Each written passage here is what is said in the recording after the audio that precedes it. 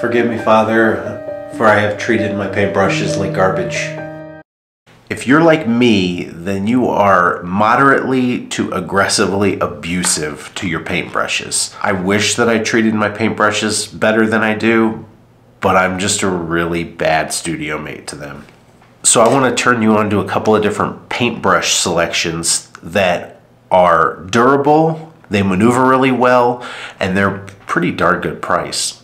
First one I want to show you is the Princeton Snap Brush.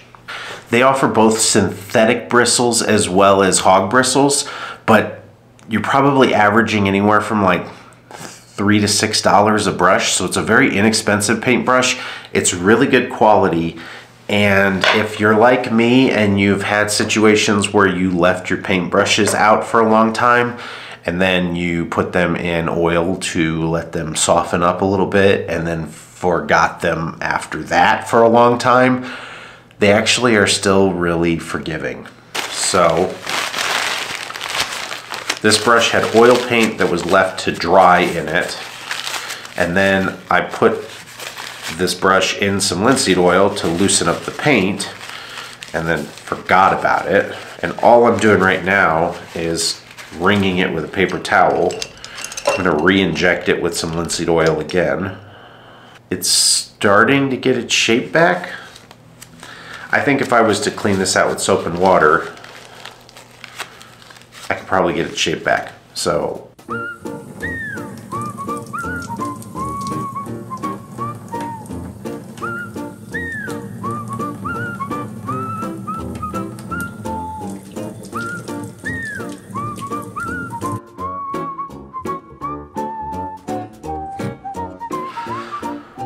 It's back.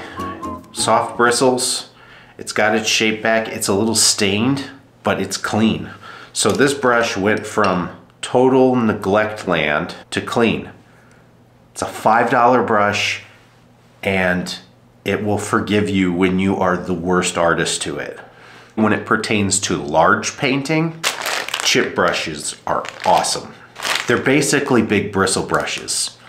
Now, this whole bag of brushes was like $7 and they come in a variety of sizes. They will lose bristles right at the get-go. So you kind of have to like knock them loose and if you get the ferrules wet or you soak them in oil or things like that, they have a tendency of coming loose. They're so inexpensive that you can replace them. Over the years, I have like glued the ferrules back into the handles. I have stapled them into the handles. I've taped them back into the handles.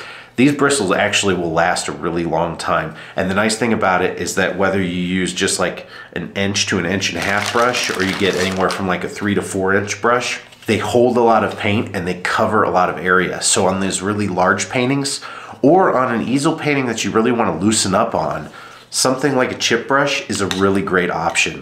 It costs like seven bucks to give it a try. Like you know, skip lunch and give it a go.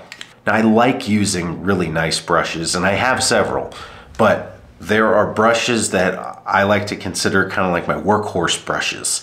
And those kind of brushes are the ones that they're gonna do a lot of the grunt work in painting.